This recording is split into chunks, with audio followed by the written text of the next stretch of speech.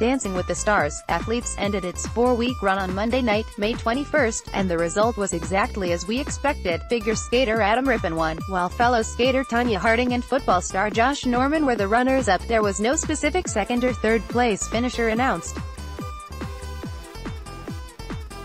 Do you agree with that result after the contestants hit the dance floor one last time? Scroll down to vote in our poll at the bottom of this post. Rippon performed two more times in the season finale, and those scores were combined with viewer votes from the previous week and from Eastern and Central Time Zone viewers on the night of the finale to determine the winner. And things got off to a great start with Rippon's jazz routine with his pro partner Jenna Johnson, for which he received perfect tens across the board from judges Carrie-Anne Inaba, Len Goodman and Bruno Tonioli.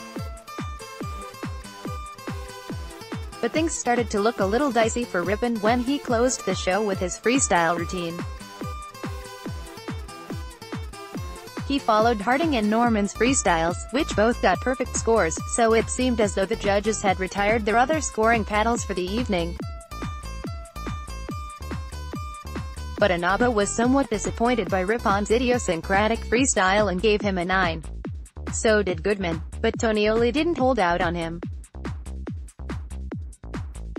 He gave Rippon a 10, so the skater still ended up with the best total score for the night, 58 out of 60.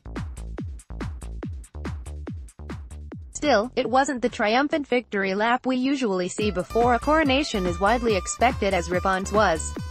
So what do you think? Did Rippon really deserve the title in the end?